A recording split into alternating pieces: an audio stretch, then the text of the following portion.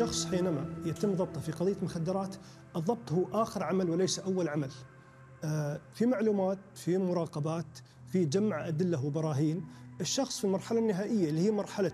الضبط هي مرحلة إنهاء القضية وليست مرحلة بداية القضية. فأنا كل التفاصيل موجودة عندي، كل الأمور موجودة عندي، وأنا الآن في في في في مسار إني الشخص هذا أقدمه للعقوبة وليس للنقاش معه، أنا كل الأدلة موجودة، كل البراهين موجودة، لكن في حال إنك أفضيت أو تكلمت بمعلومات أكثر من الموجود عندي هذا آه، يكون لها دور في تخفيف العقوبة ونظره القاضي لك بنظرة إنك لديك توبة